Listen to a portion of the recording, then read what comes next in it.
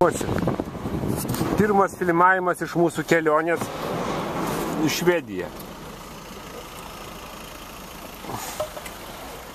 Nu kaip svaja pavargai? Truputį. Dar nuvarginsim. Jo, eik parūkyti.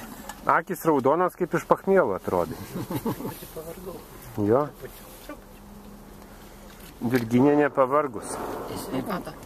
Labas. Dabar porą valandų numit, paskui į šokius varysim. Taip, naktį eisim šokti.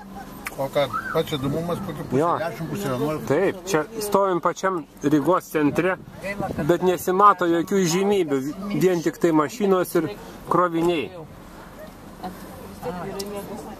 Izabelę parodė. Ką tokį? Laivą mūsų Izabelę. Jo, laiv, va šituo laivu plauksim, va, Izabelė vadinasi. A Jūs girdit, ką mes šnekam? Ką? Dabar tarėmės, ar mėgosim su savais, ar su savo vyru, ar keisimės. Galima keistis, bus įdomiau. Nes mes vis tiek vieną ir Jo, kitą apačioj dar sakai, pra, praradai masažą vieną. Tai mes padarysim, žinau. Antram aukšte. Taigi prapuolė masažas mokamas vienas. Va, atvažiavom į Stokholmą, sustojom pačiam centre. Va, kokioj geroj vietoj. Va, ten senameščio ta sala yra, va, kur matosi iš to ant kalniuko. Čia yra prieplauka, iš kurios galima plaukti senamės ir kitas salas Stokholmo. Yra grafikas surašytas. O va toj pusėje, toj pusėje yra muziejus ir parkas. Vazos muziejus ir parkas. Bet galima į Vazos muziejų eiti ir, ir šitą vat gatvę. Aš mintinai viską žinau. Praeitam gyvenime gyvenime. Praeitam gyvenime gal buvau atvažiavęs, bet negyvenau. O kas tas bumbalas reiškia? Bumbulas ES pasiekimų simbolis. O, supratau. Jo. Atvažiavom dabar į Stambulo oro uostą. Laukiam gal pusę valandos taksi užsakytos. Didžiuliai kamščiai ir mes čia stovim smarviai tokioj. Nežinau, kada sulauks.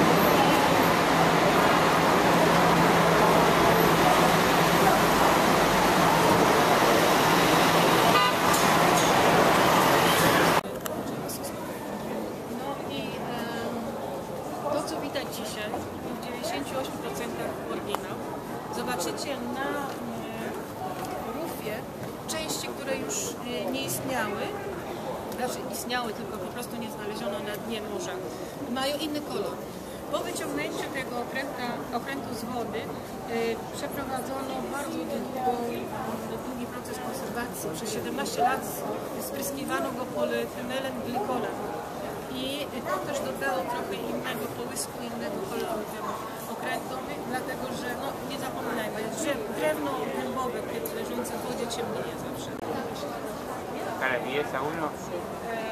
Nie wiedziano dlaczego. Čia kopija padaryta, kad geriau matytųsi.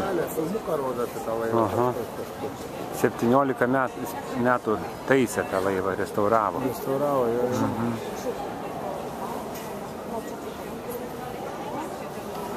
Bet atrodo tas aukštesnis. Nu, jo. Čia du aukštai. Čia per mažai jau. Čia du, o Tai ten... čia rodo, kad vanduo, A, vandenys. vandeny ant stovi, jo. atrodo. Jo. Vat iki patranko beveik vandenį. O ten originalas, matai? Akmenų. mhm, ir vergų. Ne, Netoli laivo muziejaus yra šitas nacionalinis Nordic muziejus, kurio mes šiandien neapeisim, nes čia reikia savaitę gyventi Stokholme, kad apeit tokį didžiulį muziejų.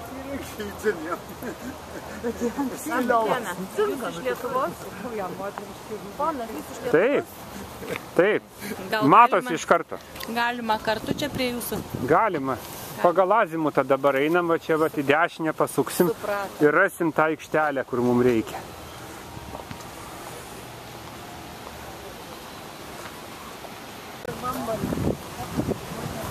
Čia senoviškos kapinės prie muziejaus, prie Nordic muziejaus.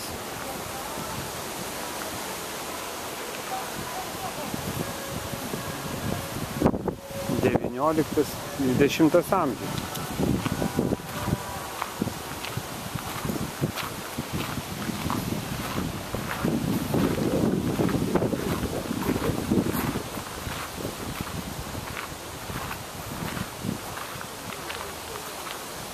įvairiausių stilių Gali labai didelį. Jo, išeisim, va ten matosi. O, toks jau aplenkim kapinį. Netikėtai. Gerai, Na, į kapinės įdomu užėjti. Jo, Ir čia- Kultūros dailės. atspindi visą Plius tai yra kultūrą. muziejus, kur nereikia bilietų pirkti. Bet šiaip, nu, tai irgi paprašiai. Man labai gražu Iz- Izraelio kapinėse. Be galo gražu. Jos, nu, labai Ieškom dabar Švedijos rumšiškį. Turbūt ten viskas prasideda. Eisim, eisim ir rasim. Labai gražu čia. yra.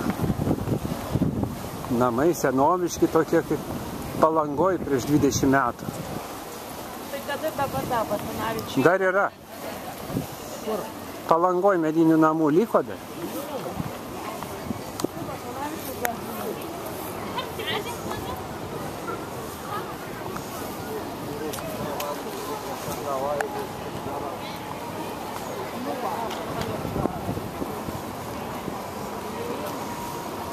Čia viskas mums taip arti viskas, kaip sakė. O einam toliau. Tokį didelį kalną čia neužliptume, nes tai taip nusilpia nuo vaikščiojimo. Gerai, kad čia yra laiptai važiuojantis.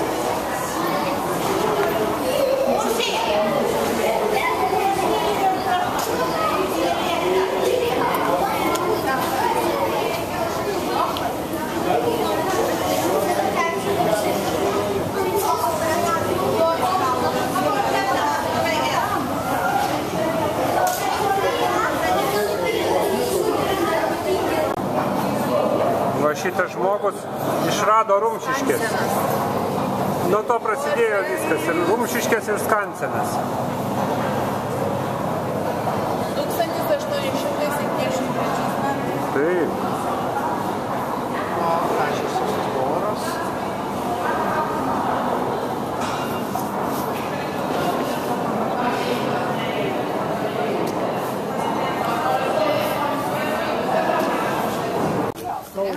O, gyva, gyva skansenė eina.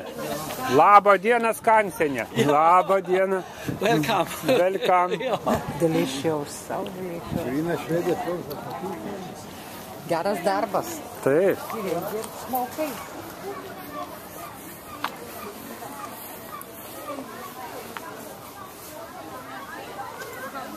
O jie tas toks laisvas. Bankas. Gal nelaisto. Pa, panašu, kad nelaisto. stogai. Aha. Tikrai auga. Medžiai neauga. Ai, auga, va, klevai auga ant, ant stogo.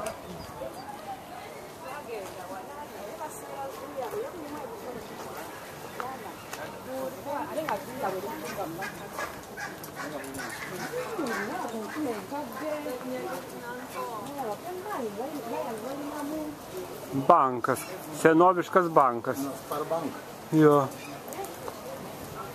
19 amžiaus. Ačiū.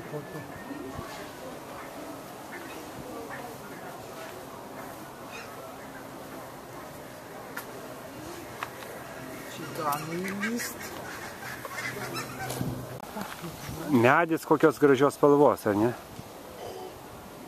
Išmirkytas kokį kažkokia chemikalė. Už tai ir kvepia mėsom.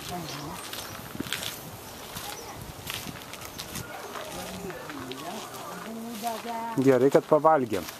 O tai eitume už šimtą eurų mėsos valgyti. Šitas labai gražus. Turbūt svirnas čia yra. Bet nu kas kažkas tokio įspūdingo.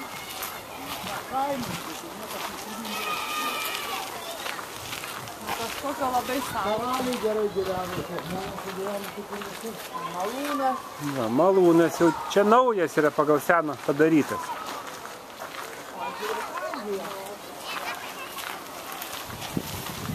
Iš tikrųjų čia jovalas yra padaryta, bet senoj vietoj toksai svetimkūnis įkištas. Nu, čia ne prie ko visai. Ne tai kiniškas daiktas, ne tai gariūnų. Nu. Gariūninis reikalas. Ar pačia kokia kavinė, kad pritrauktų dėmesį? Nu, bet negražu, čia įsipina į, į, į bendrą vaizdą netinka visiškai. Ledainė. Rumšiškės gražesnė. Jo, čia burdakas yra. Čia leidžia daryti visokį verslą durną.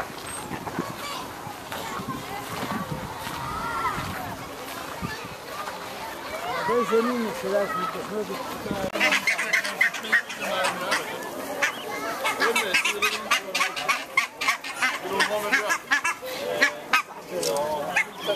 Čia jos dar pyksta, ginasi, va. Va tuos pro- pro- protestuoja prieš šitos. Šitos su pabėgėliais ateina, o tos šeimininkės neleidžia. O čia pabėgėliai O, ateina. povas.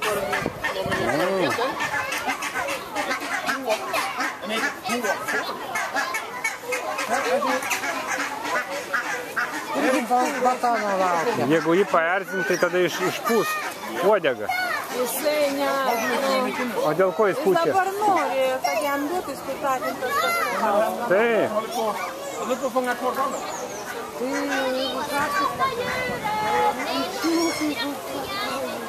Čia žoliukas gražus.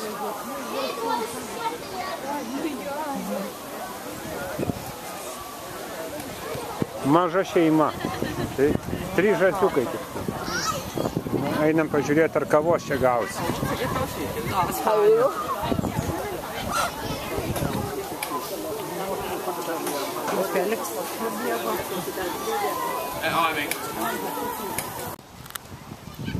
Čia užėjom tikrą kaimą, ten tai pradžioj buvo kaip, kaip gariūnai. O čia išardytos trobos. Mat, aukščiau žemės, tai čia aišku negyvenama troba. Čia yra svirnas gal.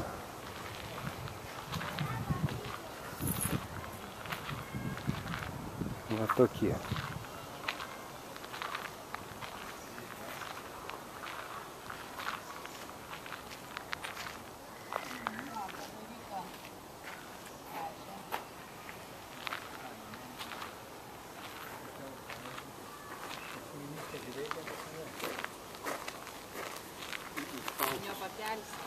Užkaltas, kad vaikai neįkristų. Gražiai gyveno.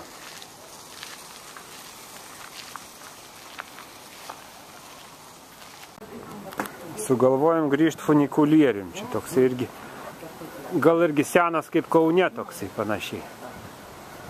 Atvažiuoja.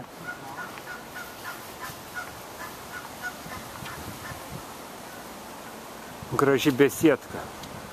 Kaip bažnyčios bokštas. Iš tolo atrodo, kad čia bažnyčia stovi. Nu, Bet fainai tikrai mumi nuveši į parkingą aikštelę. Nešalta nieko.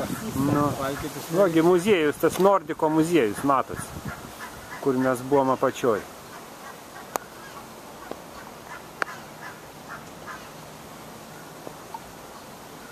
Tai atvažiavom buvo 19 su pusė šilumos. O dabar atšalo Dabar labai. dešimt jau rodo. Kartus negali būti 10. Dešimt. Vienuolika. Dar šalčiau. Jau iki dešimt, rytoj aštuoni, tik septyni šilumų. O šiaurėje keturiolika, šešiolika. Baisu. Nu ką, šiaurėje šilčiau negu. Va, Dūmsim šiaurės. Geras oras, vai. Vaikščio tai geras. Stanikovas filmuoja bumbuliukus. Filmuoja. Бежали į parkingą. Пошли, поехали, Алива Ate, kancelė. Panašu. Jie čia su O pats. parkingas mūsų ten kažkur. O gerai, kad nesusidurėm. Tai matai, laikas. Viskas čia apskaičiuota. Dar nuo 19 amžiaus. Ir aš dajau Pirštų neįkiš. Aha. Neiškiš trumpos per langą kažkur. Nu čia stalaktytai matosi. O čia net su viražu.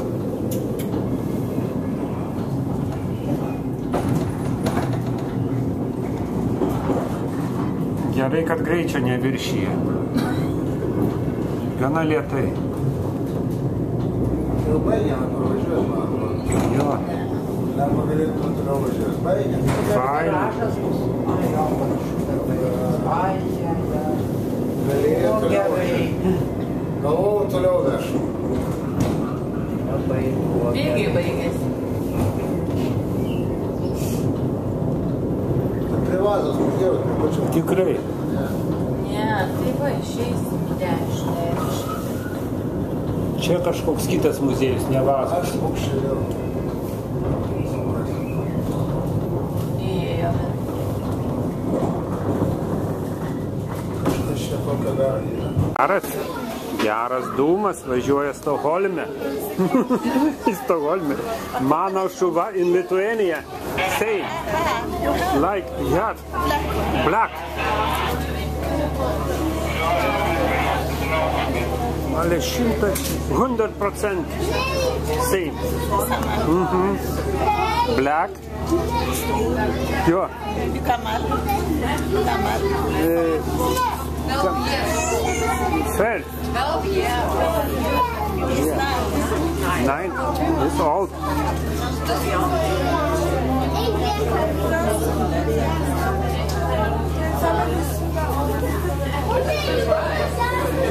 Na, keltas šuniukas su, su mumis važiuoja.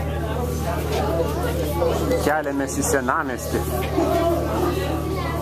Stokholmo senamestis.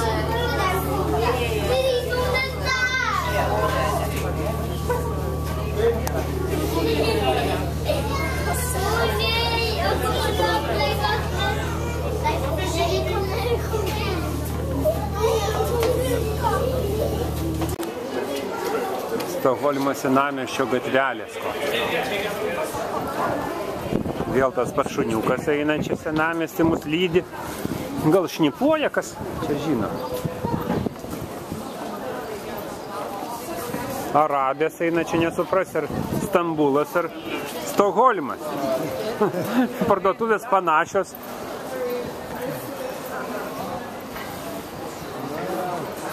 Nelabai čia skiriasi tikrai. O, žiūrėk, varpai tie kaip, kaip Marokė, va, va, va, va, apšvietimas. A, tikrai. Maroko lempos tam. Va, dieną jau. O čia gražus. Čia galima išsibadyti. Ant nugaros. Maikutę tokią nusipirkti. Aha. Tai, tai, ne, Su tatu. Ne, čia tatu, ne. Ai, tatų daro tokį? Ne, ne, ne, ne, čia tokias yra nusipirkti. Ką nusipirkti? Galvoju, Tokį. diskauntą. Discountas.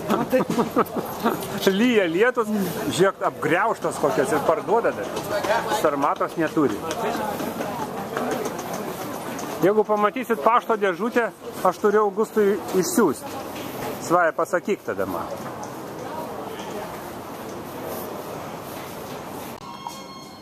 Užėjom į tokią kavinę ir tualeto nėra. Pačioj kavinė išdavė raktą va tokį keistą ir sakė, kad reikia eiti į kitą gatvę už kampo ir leistis į rūsį su tuo raktu atsirakinu. Šitoks tualetas. Ir čia ėjau, ėjau ir pamačiau tokį paslaptingą barą. Nežinau, kam čia jis skirtas. Baisu čia yra. Kol kas neaptarnauja, čia tik naktinis matyti. Grotas, kaip kalėjimas čia atrodo. Labai romantiška vieta.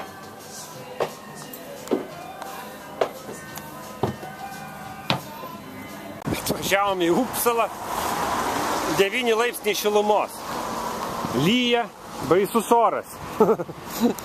Kavojasi turistai mašinai, bijo eiti apžvalgyti katedros. Čia ir lietuviškų ženklų rasim toj katedroj. parodysiu iš arti.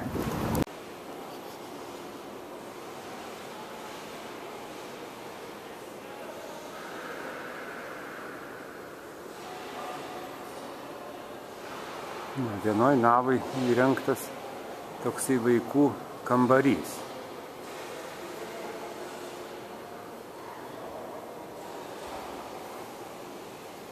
Visai jauki vieta.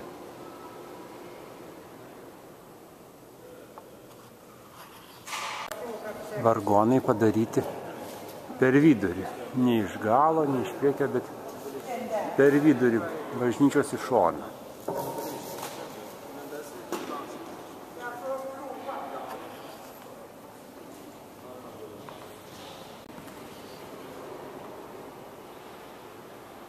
Va, Tokių puošnių altorių Skandinavijoje retai kur pamatysi.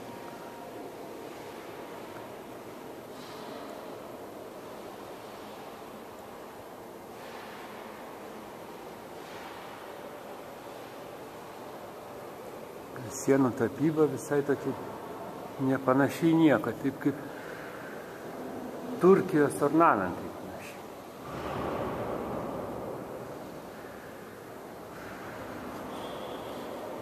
Čia kilimai.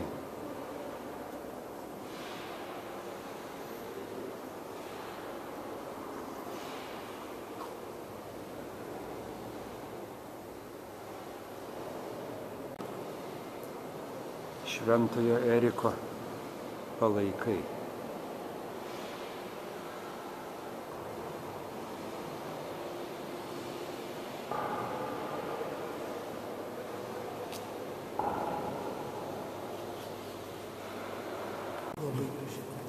Na taip laidodavo karalius anksčiau.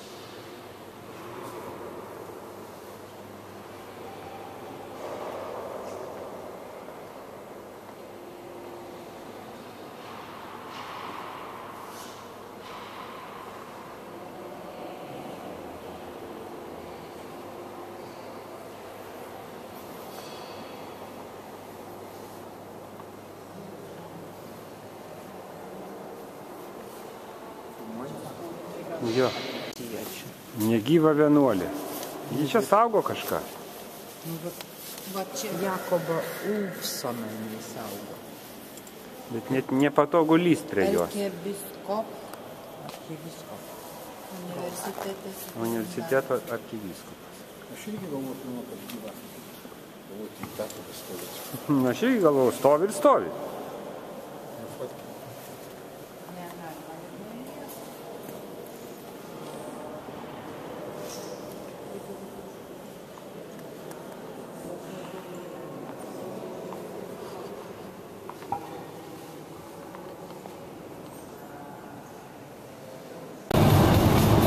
Oras baisus. Kelias tiesus, oras ramus. Saulė leidžiasi.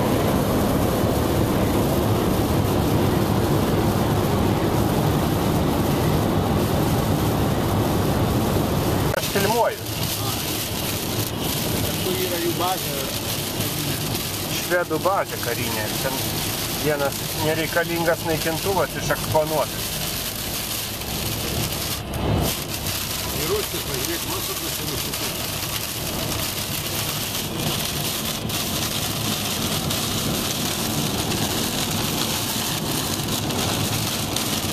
Baisuma.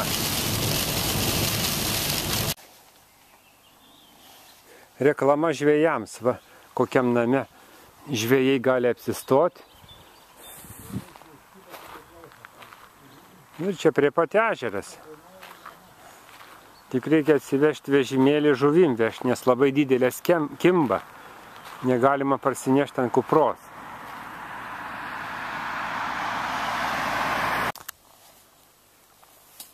Va tokie ežerai beveik be žuvies.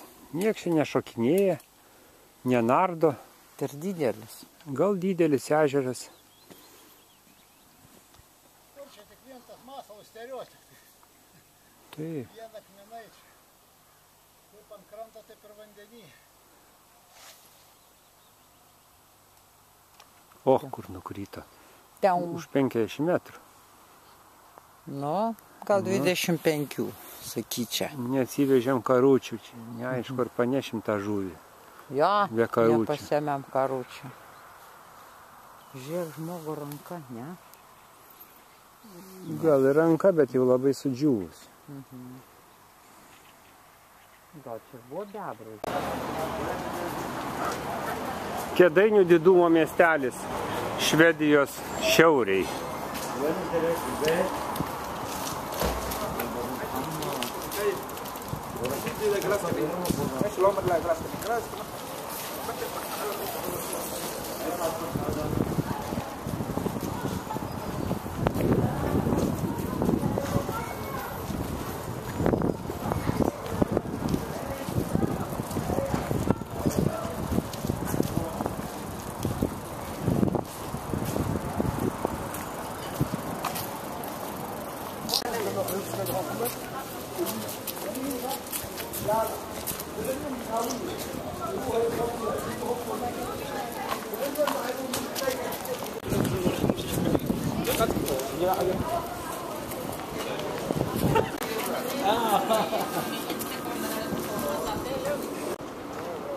Va, turistų centrą randam, tai išsiaiškinsim, ko čia dar galima rasti įdomaus.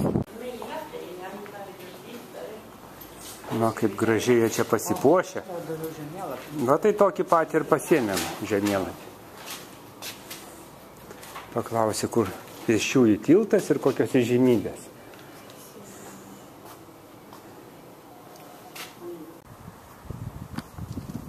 Miestelis Soleftėja vadinasi.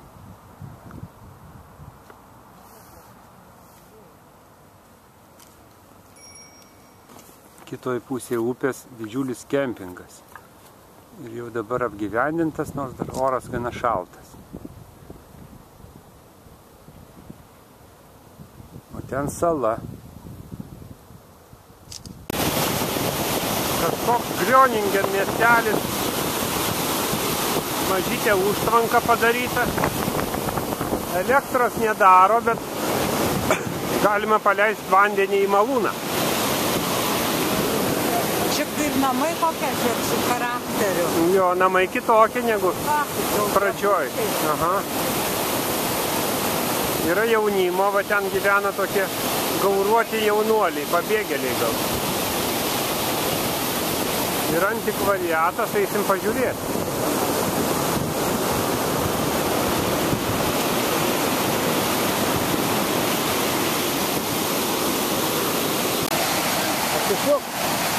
Svajutė.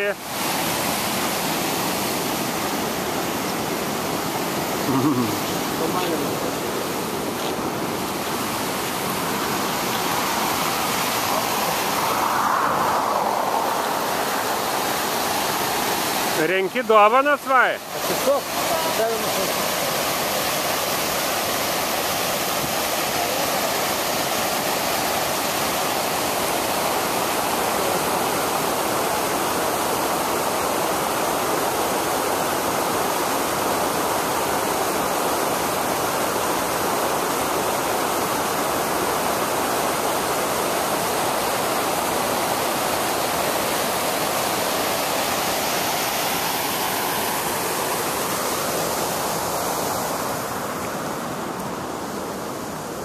Kaip ta vieta vadinasi?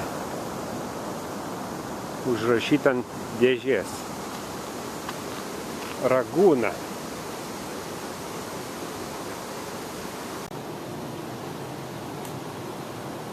Dar visai neseniai čia viskas veikia, buvo gyva. Dabar pamiršta ir pusiau muziejus, pusiau šiukšlynas.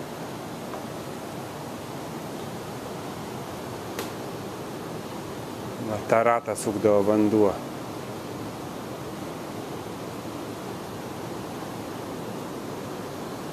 Ir čia buvo kalvė. Čia kaldavo metalą, o šitam pečiui įkaitindavo metalą. Nu, va, Stogą patvarkė. Ir dar gali pastovėti šimtą metų, parodyti žmonėm, kaip viskas atrodė.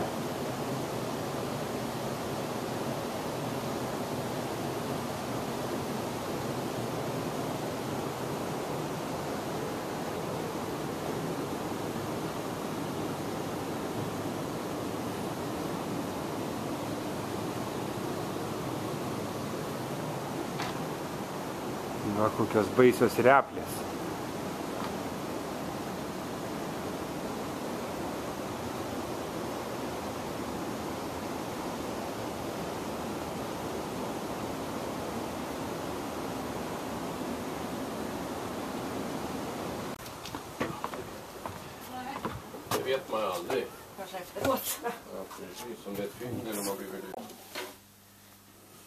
Tokių dalykų nerasi net pas mus muziejui.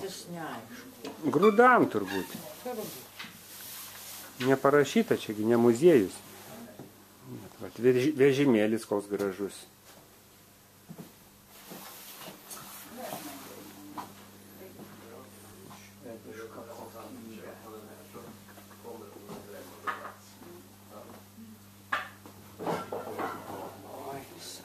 Kažką numetė.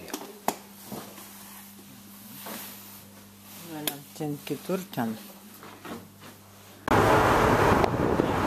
Baigėsi mūsų skandinaviškos klejonės ir dabar įplaukiam į Rygos uostą.